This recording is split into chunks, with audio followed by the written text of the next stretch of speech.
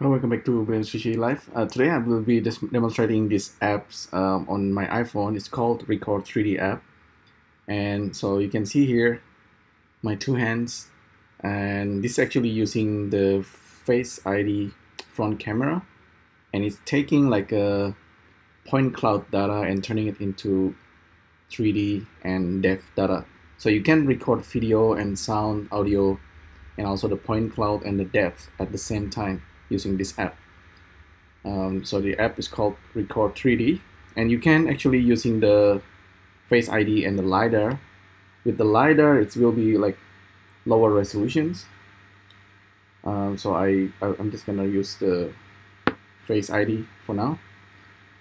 So let's do a quick test. So two hands, and I'll be sending this into Blender or some somewhere like um, I'll show you that you can also do this as a real time. So let's quickly um, use the Wi-Fi mode. So this time I will, I will try streaming it into my computer.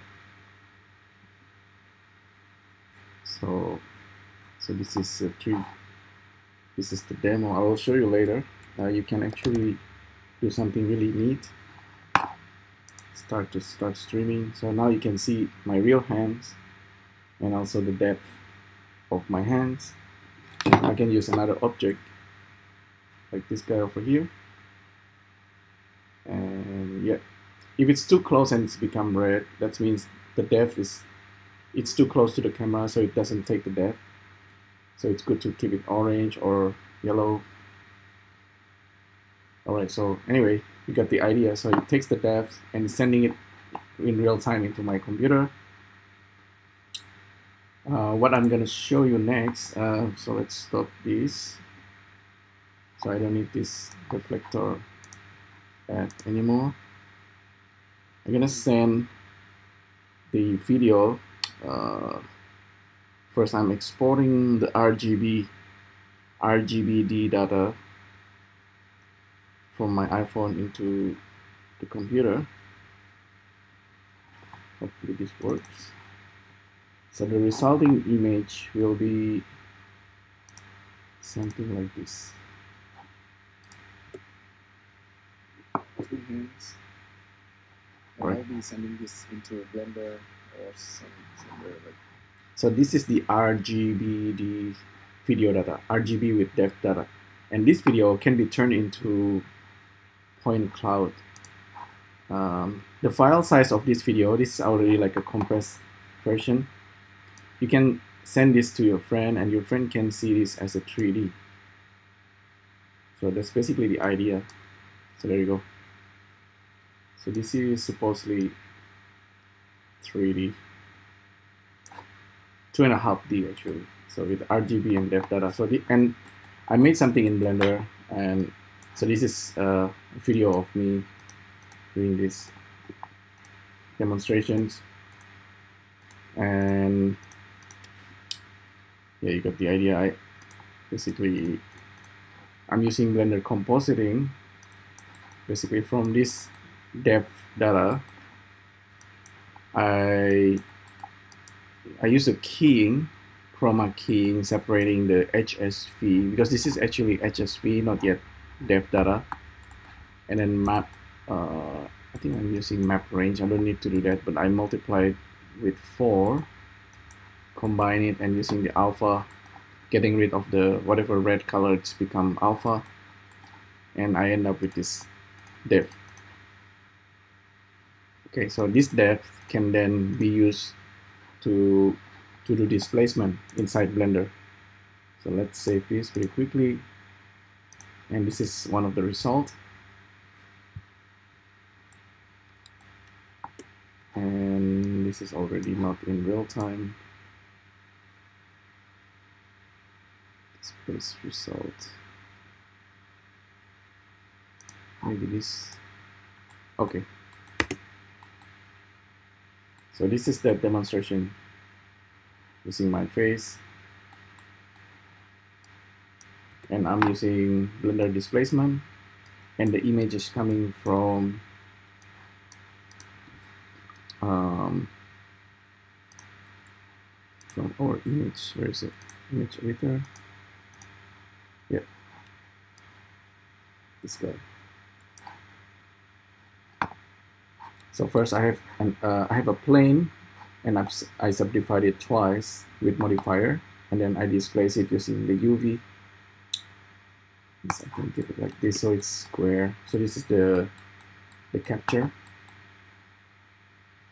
So this is using the Face ID instead of LiDAR. With the LiDAR, it's going to be lower resolution. I have a couple of example actually. Yeah, this is with LiDAR. It's actually quite low resolutions. This large tree with the depth I took, but that's uh that's using Face ID. It's like uh, twice or four times larger. What we're uh, interested in, of course, is the depth. So you can use the depth to do this kind of thing.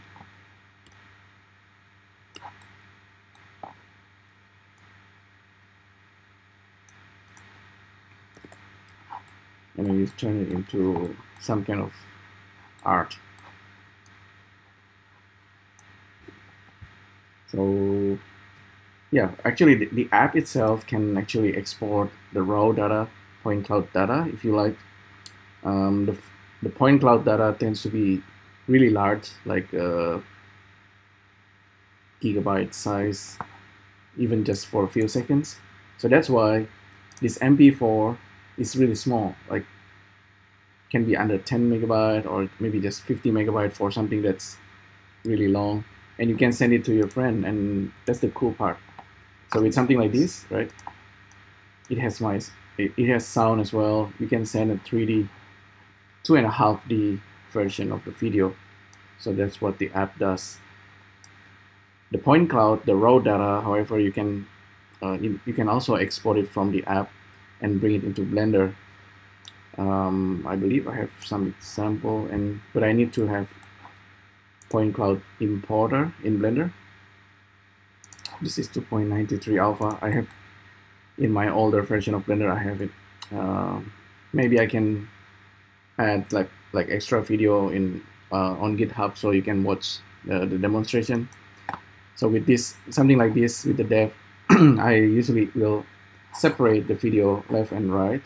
This is the texture data and this is the, the depth data and then combine them together and you have like a two and a half um, two and a half D relief um, image or video.